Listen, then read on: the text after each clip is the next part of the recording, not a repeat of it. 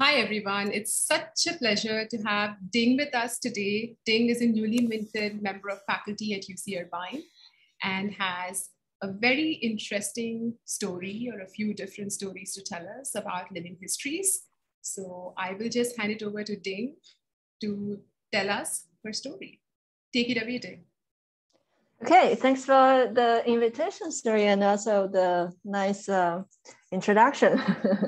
it's actually my first time uh, giving this type of uh, uh, life story sharing. So it's a uh, kind of a very new experience to me. Um, so I kind of make it very personal. I'm not sure if this is the proper way, but uh, we'll see. Um, um, what I'm trying to do, telling you guys today is um, my basically the um, scientific or life trajectories so far. So you can see from, from this map, uh, the four red points here is where I've been spending most of my time at, which is a quite wide spread distribution. And you will see, um, hopefully after this 10 minutes, uh, learn how I came from uh, such a young noise, like a noisy little girl, become a, a real scientist and having my own lab. Okay, and let's start with my childhood. So I was actually born uh, in China in a uh, city, uh, Jinan. I grew there. I, I spent like my first 17 years there. So this is when I was like uh, six years old, 10 years old, 12 years old. and uh, yeah, it's a very nice city. Um, it's called uh, Cities of Springs because in the water we're very famous with the springs, and we have a nice lake in the city. It's very historical. It's the capital city of a province, and we have very nice food. And um, I used to grow up. I spent many years in those type of in, like a, I born in those. Uh, uh, very historic houses. I think I moved out at age of six around that time. Yeah, so it's I I really like um, my hometown. Um, so hard to say like I'm really far away from there now. Yeah. Um, uh, nevertheless, my childhood is a very happy. You can see a good environment. My home is actually not far from the lake. So it's, I don't know where exactly lost orientation, but I'm actually growing up in a neighborhood with nice food, nice history, um, background, like uh, environment. And then I still a scientific talk. So I want to emphasize uh, my interest to research is basically start from my middle school. So I spent six years in this um, middle school, and that's when I found my interest in math and physics. So compared to other classes of literatures, histories, economies, I totally see like that's not my passion. And uh, as a comparison, math and physics becomes really magic to me. It's like solving puzzles. They can explain those uh, how the un- universe likes, like why there's a gravity, and even like the friction, for instance, like what happens in all those daily like uh, events. And i found like this is amazing. This is where like uh, what i want to keep my passion is.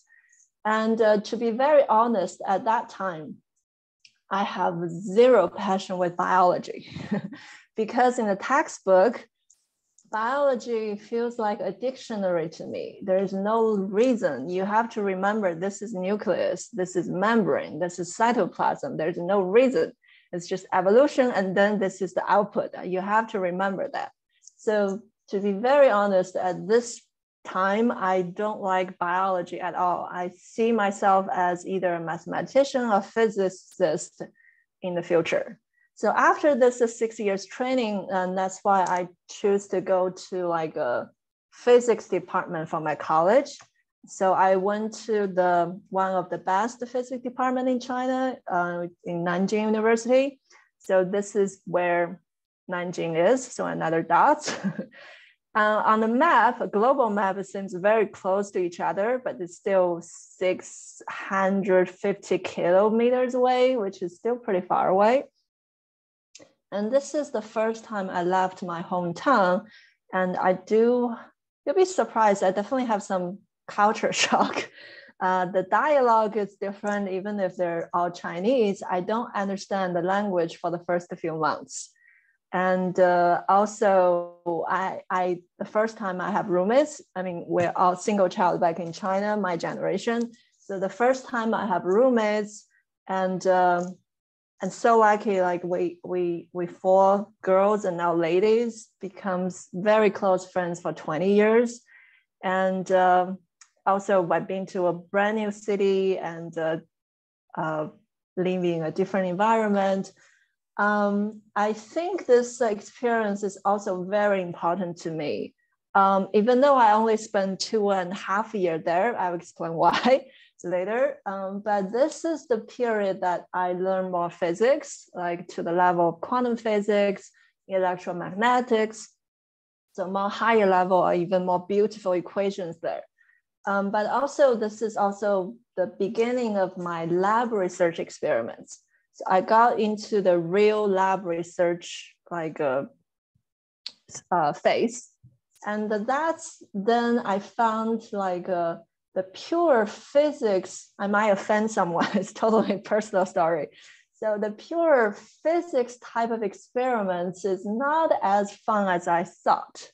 So in the textbook, all the equations seems like so like, whoa, this is like God guiding rules. But in the in the experiments in the labs, it seems like the most important and the most beautiful uh, rules has been solved and it's already in the textbook. And what's left in a real physics research lab is either really, really complicated that you need like hundreds of people working on a super big projects, uh, or really, really delicate that you have to go to like a very, very small level, for instance. Um, that gives me a little bit like a hesitating of like whether I want to keep being a physicist because it's not like the gravity or the friction or the quantum mechanics I learned. It becomes um, like a less magic in some way to my feeling. And at this time, and this is when I moved actually to Paris. Uh, at, my third year undergraduate, there's an opportunity from um, um, my later school, Normale Supérieure de Paris. Uh, they actually um, invite international students uh, go to Paris, uh, take an exam, and uh, to see they want to recruit uh, like a, they have a different system, so undergraduates or college uh, graduate students. And uh, my motivation at that time is very simple. I'm a 20 year old young lady. I, I can have a free trip to Paris. And I'm like, uh, why not? so I was there because of this Paris trip and took that uh, exam. And uh, I did got the offer. Uh, I spent about a week and a half in Paris, visit the city, visit the university, and I found this is a very nice place. And um, I took the exam in June or July, and then I took the offer and start in Paris in September. So it's a very fast transition. And uh, again, it's very far away this time, 8,000 kilometers away. And um, I didn't speak French at all at that time. So it was another run of a culture shock, obviously and all the classes was taught in French. Uh, the first half year is really a very challenging time for me. But after that half year, I can confident to say I can overcome any problem. Um, nevertheless, I survived after half year and the first quarter, even everything taught in French. I think I I got uh, I ranked the sixth in the class or something and uh, I was so happy and I overcome that. But nevertheless, with my suspect of a friend, like a pure physics research in a lab, uh, when in Paris, when I have a, like a, the chance of doing a lab tour, I saw this um, very cute magnetic tweezer system. So basically, it's a uh, still in the physics department, but it's uh, starting the biophysics part you have this uh, magnetic bead attached to a DNA molecule. where you can actually apply magnetic force on top. You can see enzymes walking, stop, or trimming activities in real time. And this is the beginning of my biology research related. So uh, the lab took me for an internship and at age of like 21st, I think, 21, uh, the first time I touched a pipette. they have to teach me like about pipetting. If you put down to the very bottom, what does that mean? If you put in the middle, what does that mean? Uh, but nevertheless, after this internship, I found like, okay, it's different from textbook. In a lab research biology, it's really fun because nothing honestly is known. Uh, even just the basic DNA hybridization dynamics, there are many basic rules that you need to summarize to, to extract. It's like I um have the chance to actually writing or, a finding my own textbook of biology rules, finding the most fundamental rules there, which is like the gravity I mentioned. It's not in textbook yet, so that's why the lab research becomes fun. So I spent my whole uh, master, PhD, a part of undergraduates in, in Paris and uh, working with the magnetic tweezer level uh, research. And after my PhD, uh, my PhD basically um, end up in a new sequencing method. They have a great startup. They just announced about $60 million, something, whatever, but it's more like a still physics and technical. And my only biology is with DNA RNA molecules in vitro. And uh, after this, I found, okay, I still like physics principles, but I want to work on biology like uh, objects or like contents. So uh, for my postdoc, I decided to um, try a total like a more biology uh, like uh, contents. And that's why I moved even further. so now 10,000 kilometers to Los Angeles and uh, to Caltech, um, the Elowitz lab, and to study like uh, synthetic biology and uh, cell biology. So again, thanks to my advisor, have the courage to took me as a postdoc.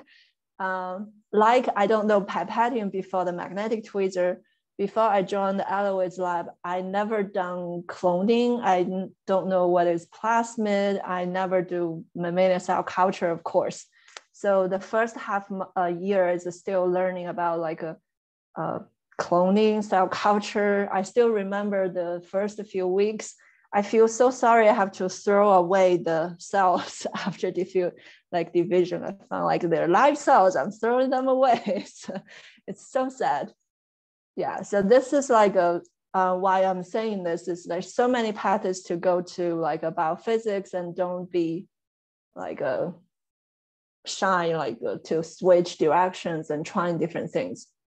So nevertheless in my postdoc labs i started to work with cells and i'm focused on rna biology and looking into their splicing activity using single molecule fluorescence situ hybridization so uh, I won't go to all those details, but just to show like cells, dots, imaging, so another level of biology. And in the end, I now a year and a half ago, I started my own lab and it's very interdisciplinary. I combined all this magnetic uh, tweezer technique, fish imaging technique, as well as my physics background to trying to investigate RNA biology at the single molecule level quantitatively. And uh, because I have training with so many different areas, so my own lab is kind of combining different parts and becomes quite unique. Um, and this is also my, I think a good thing I want to share to the uh, like a younger generation. Uh, try different things and the interdisciplinary definitely helps.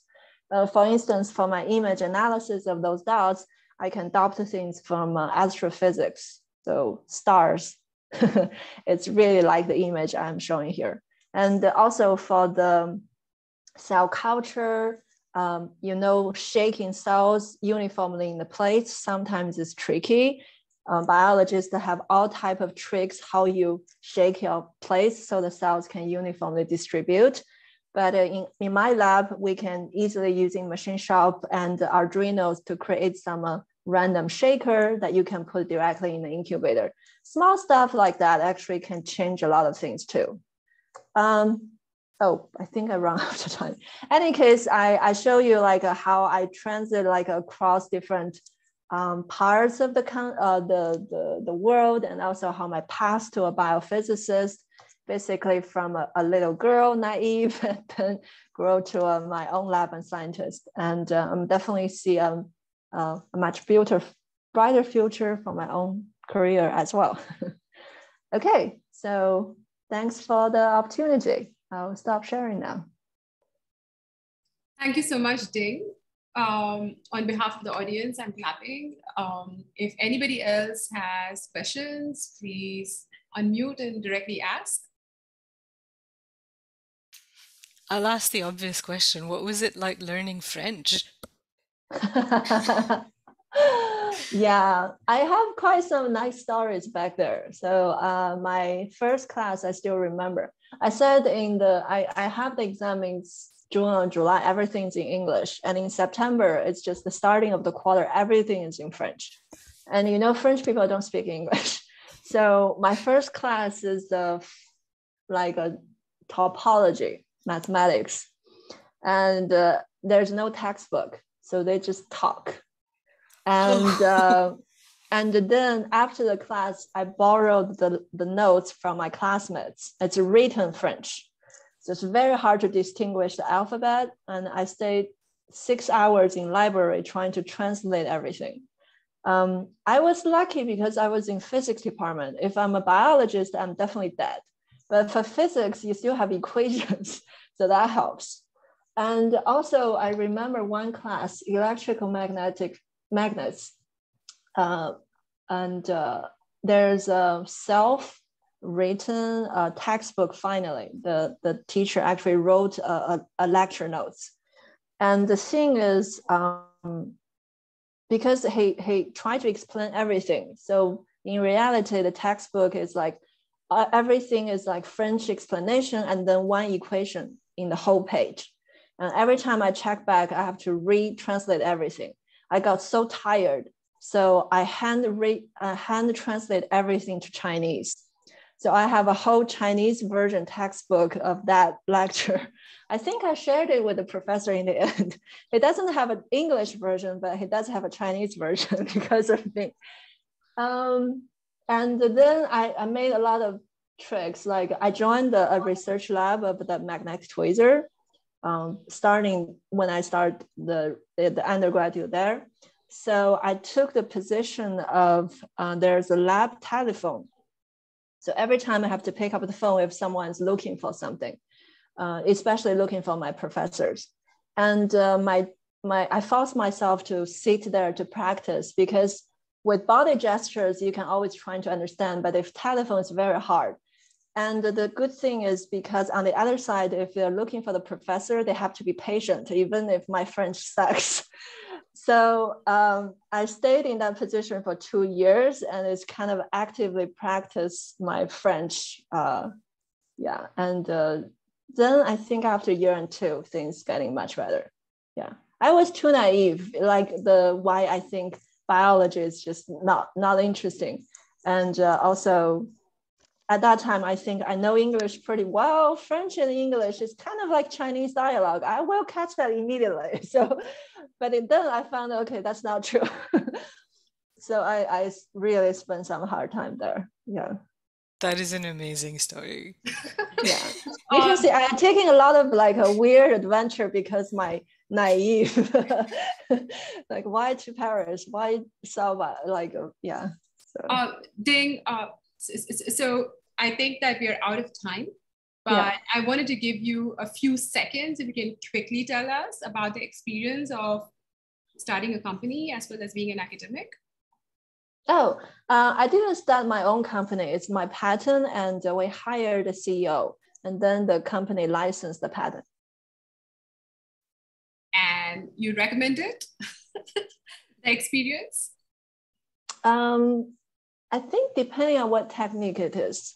Yeah, if it can it can be widely used, then I think it it's worth it. I'm planning to do it for my own lab too, because if you develop a technique and you want to widely share it, the commercial company can make it like a the commercial kit, and it's more like a uh, how to say formatted in a way that is customer user friendly. All but right. it's definitely a lot of energy for sure. yeah. All right. On that note, uh, thank you so much for telling us your story. I'm closing the.